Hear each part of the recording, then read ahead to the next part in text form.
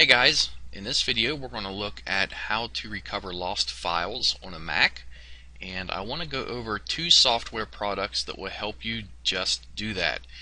Um, links to both these products can be found in the description under the video and they'll take you to the page where you can download the free trials.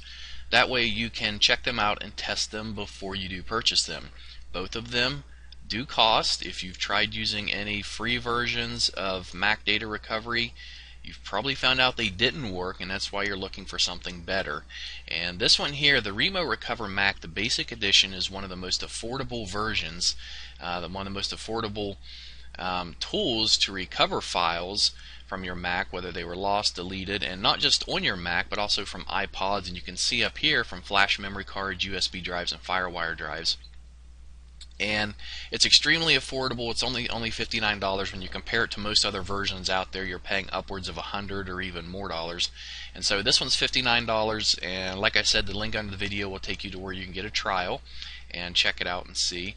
Now, uh, what I do want to go over with you just real quick here is down here the best scenarios where the Remo Recover Mac will be useful. And these are um, if you accidentally delete files, if you hit your delete key and you delete it, whether it's um, whether you have a file saved on your desktop or whether you delete it straight from the recycle bin um, or your trash, files deleted by third-party applications, files lost due to journal corruption, files lost due to power surges, and files lost when Mac is shut down improperly.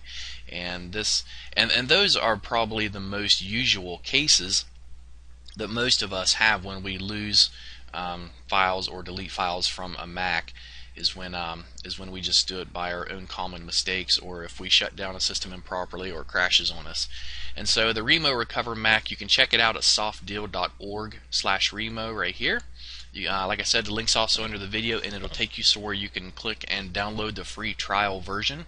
Check it out, see if it's for you. If it is, then you can choose to buy it. If not, go find something else. But the second product I want to look at is the Stellar Phoenix Mac data recovery and this one is a little more advanced than the Remo Recover. And like I said this Remo Recover version this is the basic edition. They have three different versions. Uh, if you get down here let's see I think they have it listed somewhere. Maybe they don't.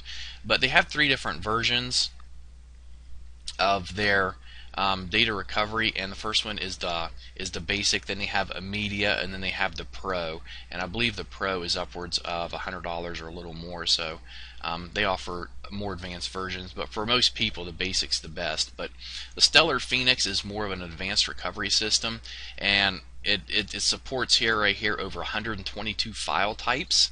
So it's extremely powerful and it works just as well, um, if not a little better, than the Remo Recover. It works for hard drives, USBs, memory cards, cameras, iPods. It works with photos, it works with videos, any kind of media. And the uh, the website where you can check it out and you can also download a free trial is going to be here at softdeal.org forward slash stellar and this link is also listed under the video in the description box where you can come here and you can check it out and get full details on it download it and try it and between these two products you shouldn't have an issue of recovering any kind of files that you've lost or deleted on your hard drive for your Mac or any other external drive you have connected to it.